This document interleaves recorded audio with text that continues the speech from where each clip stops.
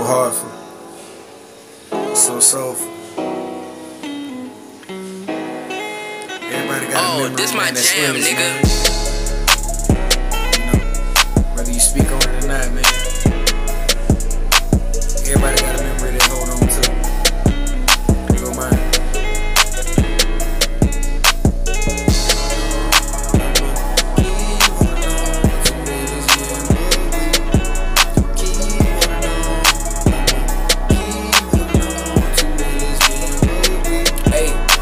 dudes honestly throughout the years been my biggest inspiration. You held the baby boy down to winning in every situation. I thank the man up above for bringing you into creation. She said the time is coming, just gotta learn to have some patience. So I sit back and reminisce on everything that you taught.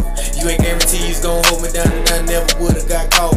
You always told me don't let them hum and don't let them niggas play me. When I showed my ass in school, you took me straight to my grandma Sadie. You prayed for me on a daily, one day he'll save me. This world that we living in can turn the sanest person crazy. No if and buts and maybes. Be a hard worker, not lazy. She told me watch for them dog hoes, cause most of them got rapists. So I treat a queen like a queen and treat a real lady like a lady. Can't wait till the day you walk outside, see the ribbon around a Mercedes. Eventually it's gonna happen, cause you know your son is so gifted. I'll forever cherish the time we have. long Oh, this my jam, nigga.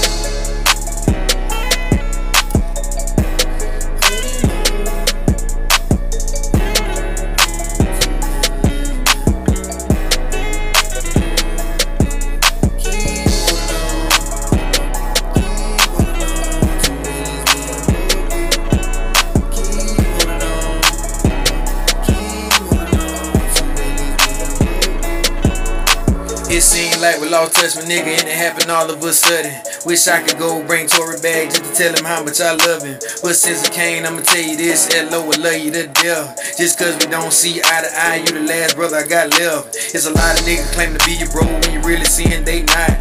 I know you rock with your day ones, they can never take my spot. We was smoking, drinking, and having fun with all the boys in the hood. It's a lot of things that been said and done, wish I could take it back if I could.